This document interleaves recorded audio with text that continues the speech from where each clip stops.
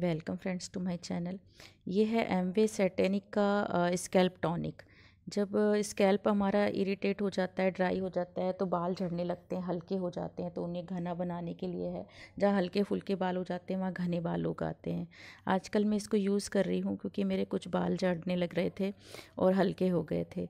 तो मुझे बहुत अच्छे रिज़ल्ट मिले तो मैंने सोचा आप लोगों को भी बता दूँ। बहुत ही अच्छा टॉनिक है, दिन में दो बार लगाना होता है। और अगर कलर वगैरह लगाया है आपने तो आप मत लगाइए।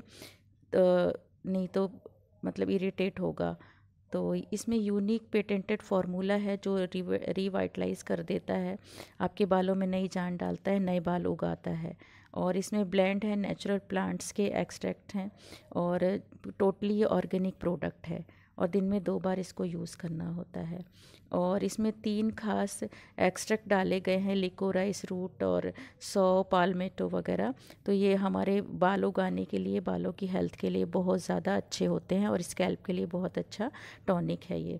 इसमें शीशों का एक्सट्रैक्ट है जो जापानी सर्प होती है, जो हमारे बालों के लिए बहुत ही खास है और फ़ायदेमंद है।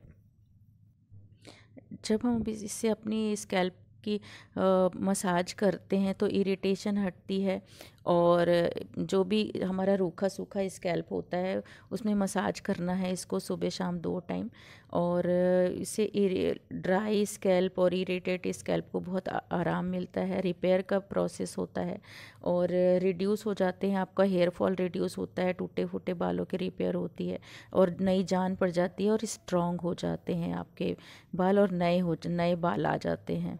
और आपका जो आपके स्कैल्प में बहुत फ्रेश फीलिंग आती है रिड्यूस हो जाते हैं आपके फ्लैक्स और बहुत ही अच्छा महसूस होता है और ड्राई स्कैल्प को बहुत आराम मिलता है और जो रूसी टाइप के जो फ्लैक्स होते हैं वो भी हट जाते हैं और आपको मिलती है बारह हफ्तों में बहुत ही अच्छा इंक्रीज़ हो जाते हैं, आपके हेयर घने लंबे बाल आ जाते, घने बाल आ जाते हैं, जहाँ पे आपको हल्के हल्के बाल दिख रहे होते हैं गंजापन आने लगता है, वहाँ पे बाल, नए बाल उगाते हैं। तो ज़रूर एक बार ट्राई करें इन्फॉर्मेशन अच्छी लगी हो तो वीडियो को सब्सक्राइब करें।